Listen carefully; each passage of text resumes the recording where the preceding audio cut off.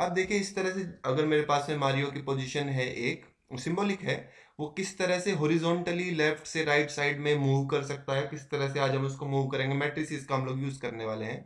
या इसके अलावा अगर मुझे इसको वर्टिकली मूव करना हो तो क्या मैं इसको वर्टिकली मूव कर पा पाऊँगा?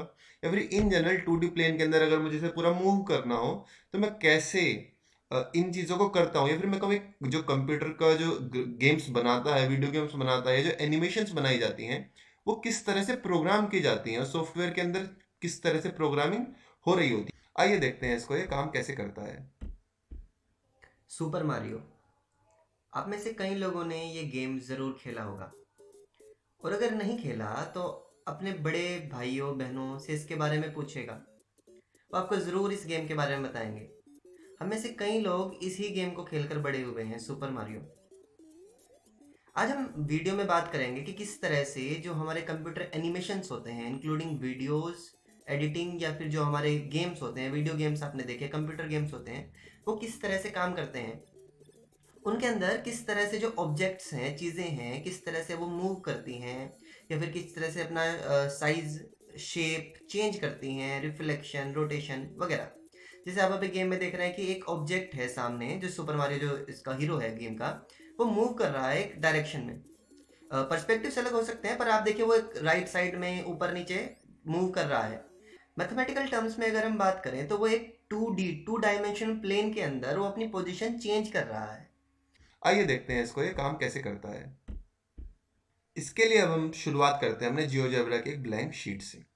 सबसे पहली बात है, मुझे अपना जो मारियो है सुपर मारियो है मुझे उसको मूव कराना है तो सबसे पहले मुझे वो इमेज लेकर आनी पड़ेगी। मैं अपने सुपर मारियो की इमेज ले आया।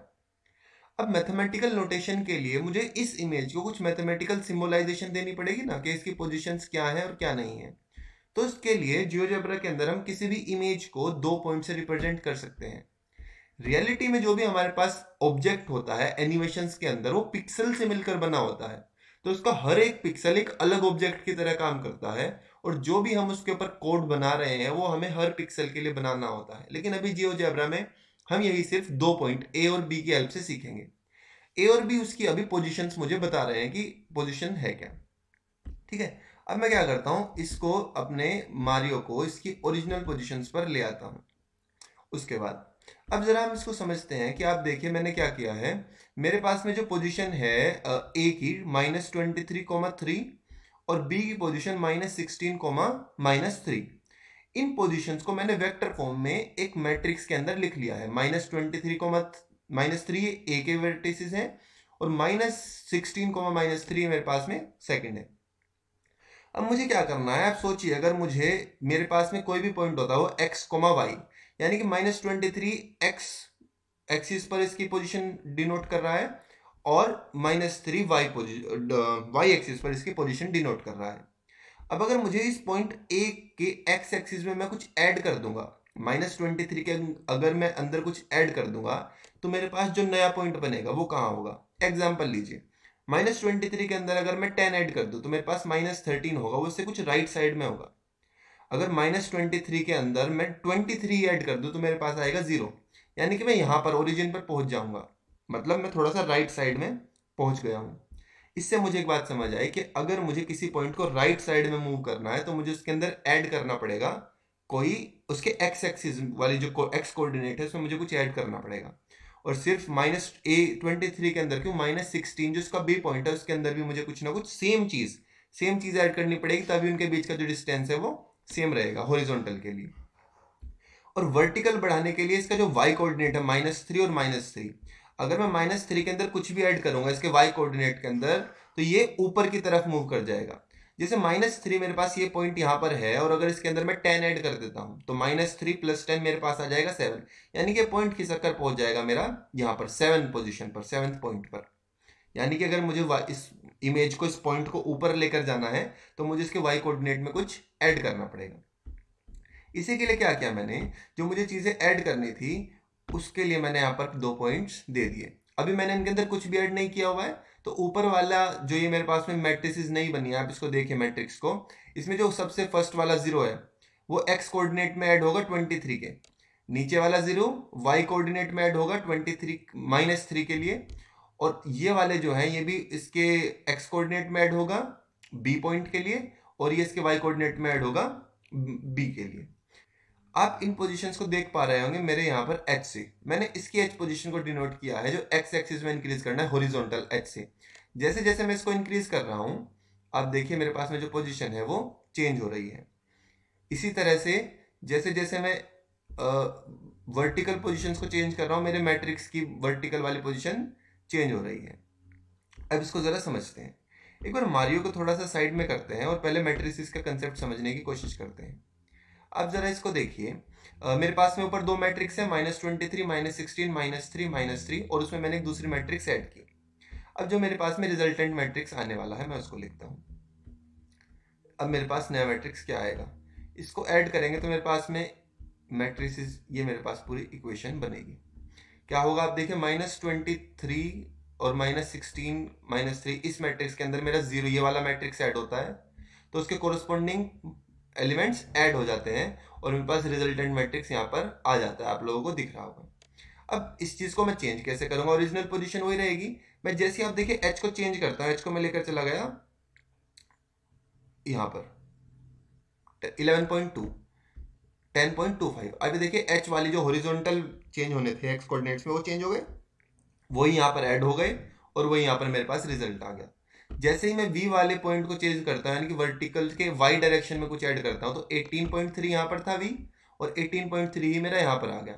ये दोनों इसके नीचे वाले मैट्रिक्स में ऐड हुए और उसके बाद मेरे पास में रिजल्टेंट आ गया।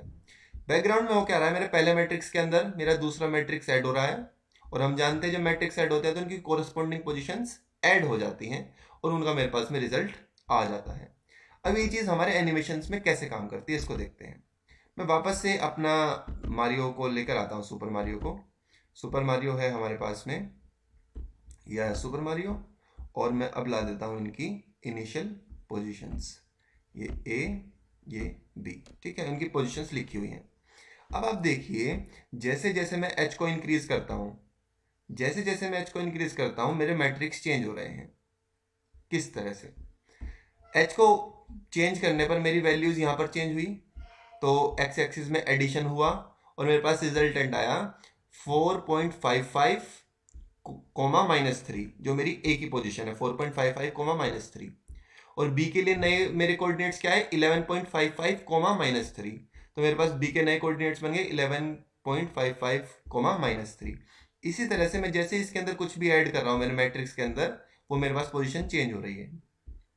अब जैसे मैं वी वर्टिकल कुछ भी ऐड कराऊँगा इसके वाई कोऑर्डिनेट्स के अंदर, आप देखिए, जैसे ही मैंने इसको, मैं इसको कर देता हूँ जरा 12.25 अब हुआ क्या, मेरे पास जो नई मैट्रिक्स ऐड हो रही थी तो कोरस्पॉन्डिंग पोजीशंस ऐड होती है और मेरे पास नए वेक्टर्स पोजीशंस आ जाते हैं। अब आप देखिए ए के नए कोऑर्डिनेट्स क्या है? Thirteen point two comma nine point five वो भी मेरे पास यहाँ पर है thirteen point two comma nine point five और बी के नए कोऑर्डिनेट्स क्या है? Twenty point zero twenty point two और नाइन पॉइंट फाइव वही मेरे कोऑर्डिनेट्स हैं यहाँ पर। तो इस तरह से मैं जो भी मैट्रिक्स ऐड करूँगा, उसकी हेल्प से मैं इनकी पोजिशंस चेंज कर सकता हूँ और मेरी पूरी पोजिशंस चेंज होती जाएगी। ये देखा आपने, हम बिल्कुल सिंपल मैट्रिक्स एडिशन की हेल्प से किसी भी ऑब्जेक्ट को स्क्रीन के ऊपर एक जगह से दूसरी जगह मूव कर सकते हैं। अब इस चीज़ को थोड़ा और अच्छे तरीके से देखने के लिए कंसेप्ट हमें समझ में आया। हम थोड़ा सा बैकग्राउंड वगैरह चेंज कर देते हैं। मैं क्या करता हूँ, इसकी जो ग्रिड्स हैं वो हटा देता हूँ। उसके बाद मैं इसका बैकग्राउंड भी हटा देता हूँ ताकि जो एक्सिस थे वो हट जाए। और बैकग्राउंड में हम ले आते हैं एक इमेज अब आप देखिए, जैसे ही मैं एच को इन बढ़ा रहा हूँ तो मेरा जो सुपर मारियो है वो ओरिजोनटल एक्सिस में बढ़ रहा है और ऊपर आप मैट्रिक्स भी देखते हैं। कहीं पर भी आप वीडियो को पोज करके देखेंगे तो जो मेरे पास इनिशियल पोजीशन और रिजल्टेंट पोजीशन होंगी, वो बिल्कुल एज इट इज़ सेम होंगे। एडिशन आप कहीं पर भी वीडियो को पोज करके चेक कर सकते हैं। अब मैं इसको लगा देता हूँ। सेल्फ एनिमेशन पर। आप ये देखिए। सबसे पहले इसकी हॉरिजॉन्टल एनिमेशन को देखते हैं। क्योंकि अब मैंने जो V वाला था, आप देखेंगे कि जो V वाली पोजीशन है, जो Y एक्सिस में ऐड होना था, उसको मैंने ज़ीरो रखा। तो कुछ ऐड नहीं हो रहा। तो इनिशियल पोजीशन और फाइनल पोजीशन सेम है। तो इसलिए सिर्फ़ हॉरिजॉन्टल पोजीशन पर मूव कर रहा है। अब अगर मुझे सुपर मारियो को, हमारा जो पोल है, मुझे इसके ऊपर चढ़ाना है तो क्या करना पड़ेगा? मैं क्या करता हूँ? सुपर मारियो को पहले तो लेकर आता हूँ हॉरिजॉन्टली यहाँ पर। यहाँ से आपको ऊपर चढ़ना है। ले आया और अब मैं इसका जो वर्टिकल वाला है, उसको बढ़ा देता हूँ धीरे धीरे। और ये सुपर मारियो अब हॉरिजॉन्टल वाला फिक्स हो चुका है और सिर्फ़ वर्टिकल वाला चेंज हो रहा है। तो अब सुपर मारियो ऊपर जाएगा, ऊपर जाकर फिर नीचे आएगा, क्योंकि वो ऑसिलेट कर रहा है, ऊपर से नीचे हो रहा है। ये, है ना, बिल्कुल इजी सिंपल मैट्रिक्स एडिशन होता है कंप्यूटर ग्राफिक्स के अंदर और उनकी पोजीशंस डिसाइड होती रहती हैं। अब अगर इन चीज़ों को हम दोनों को एक साथ प्ले कर दें तो उसकी जो आप रैंडम पोजीशंस हैं, उनको आप एक साथ चेंज कर सकते हैं। मैं इसका एक एग्जांपल देता। जैसे मुझे सुपर मारियो को जंप करानी है तो मैं क्या करूँगा? मेरी बेसिक इनिशियल पोजिशन पर है। मैंने क्या किया? उन दोनों को एक साथ शुरू कर दिया तो मेरा सुपर मारियो जाएगा ऊपर। पहले ऊपर जाएगा और फिर टाइम के साथ वो, क्योंकि मैक्सिमम पोजीशन पर पहुँचने के बाद वापस आना है, उसके बाद वो आ जाएगा नीचे, है ना? वेरी इजी इस तरह से जितनी करानी है, उसकी हाइट्स वगैरह फिक्स होती हैं और वो उतनी तेज जंप कर लेता है। इस तरह से हमारी पोजिशन जो है मूव कर सकते हैं। आप किसी भी डायरेक्शन में अपने ऑब्जेक्ट को मूव करा सकते हैं। Thank you for watching our video thank you for this ये हमारे सीरीज़ की पहली वीडियो है। इस कंप्यूटर ग्राफिक्स और मैट्रिक्स के अंदर अभी हम कुछ वीडियोस और बनाएँगे। उन्हें देखने के लिए बने रहिए हमारे चैनल के साथ। शुक्रिया।